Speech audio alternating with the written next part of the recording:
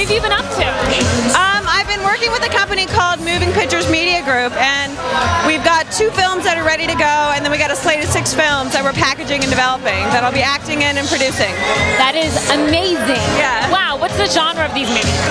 Um, well, film that's set to go is a mockumentary um, in the vein of Christopher Guest. He did A Mighty Wind, Best in Show, Spinal Tap, and it's about a famous kung fu star that just has a little bit of the Forrest Gump syndrome where he just obliviously walks into success after success. I love it. Um, there's another one that's called Rogue. It's um, about Jack the Ripper. Um, I brought in a lesbian noir erotic thriller. So it varies. I mean, we've got we've got some few genre pieces in there, and then we've got a few more contemporary pieces. That's awesome.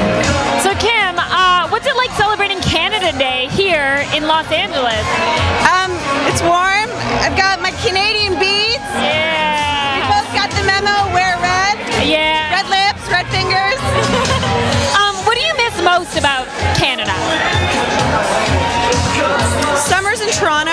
Absolutely fabulous. Like patios, going to Remy's on the patio, having a of white wine on a patio.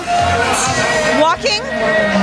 Um, you know, living in Toronto, I used to walk everywhere. Same with when I lived in Vancouver, I walked everywhere.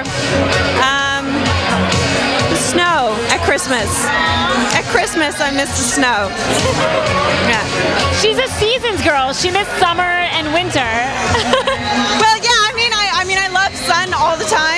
there's something about Christmas that I kind of wish I had the snow. well, Kim, enjoy the night. This is fun. Canadians Abroad has brought a great party here for us tonight. Happy birthday, Canada! Happy birthday!